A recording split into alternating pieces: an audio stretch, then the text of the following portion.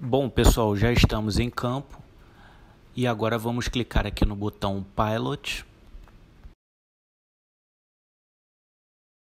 E agora vamos clicar na opção de Manual Flight para dar início à calibração da nossa bússola.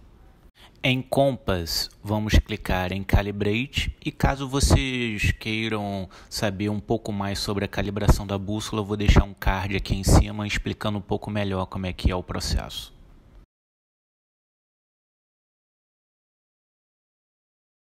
Bom, bússola calibrada.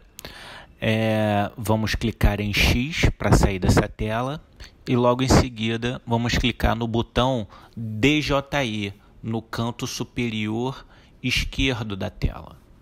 Agora sim, vamos clicar no botão Mission Flight, clicar no nosso primeiro voo planejado, que é o Centro Esportivo de Niterói, e em seguida clicar em Play.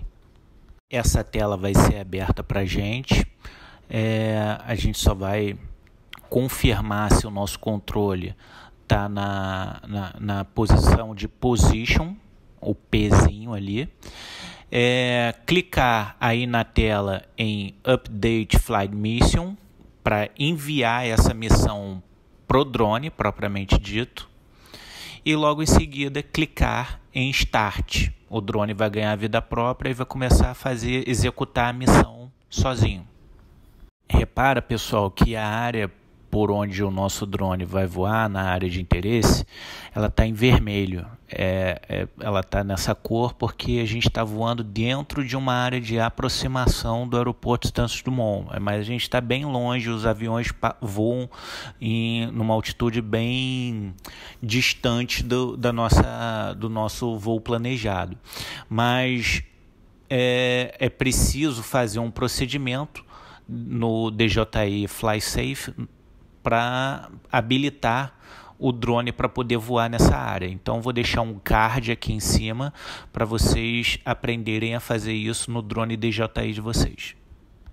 Bom, nesse momento o nosso drone ele já ganhou a, a altitude para voo de cruzeiro e está se direcionando lá para o nosso ponto de início da captura das imagens, onde está aquele Szinho lá na tela. Bom, agora eu vou ocultar essa caixinha que mostra as aeronaves tripuladas que estão próximos da gente para a gente ter uma visão mais clara da nossa tela como um todo.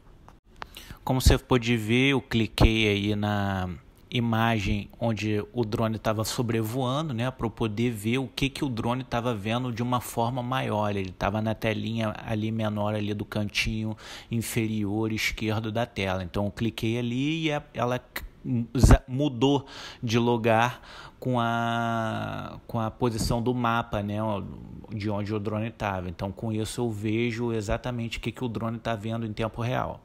Então o drone acabou de chegar lá no ponto de start e ele vai começar a missão, vai começar a tirar foto até o encerramento dessa missão aí.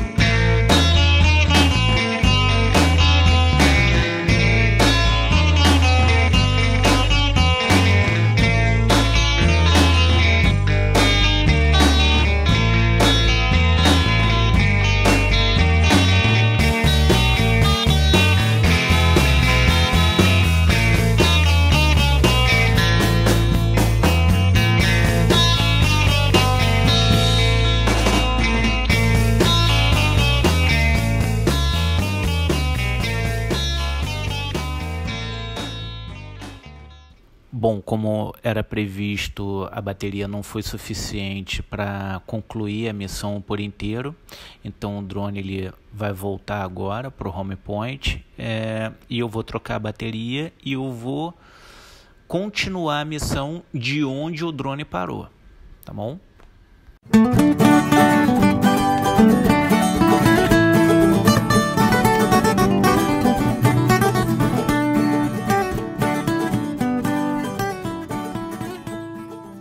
Bom, como eu não desliguei o controle remoto, eu vou clicar agora no play, vou clicar em resume e ele vai ganhar vida própria novamente e iniciar o, o serviço de captura das, das fotos de onde ele foi pausada, lá no sinalzinho de pause que está lá no mapa, tá vendo?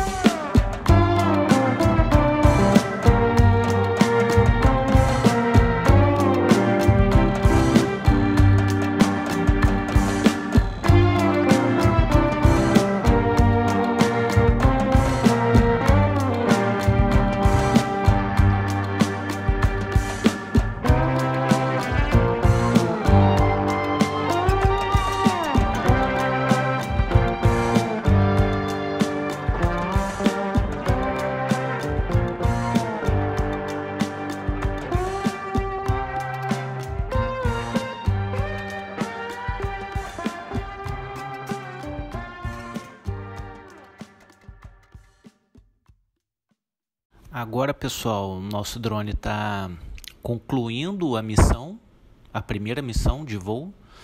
É, ele vai ficar em rover, como nós tínhamos programado.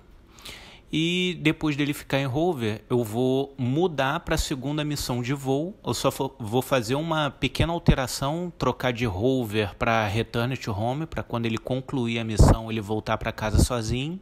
Vou salvar essa alteração, dar play e startar a missão, a segunda missão de voo.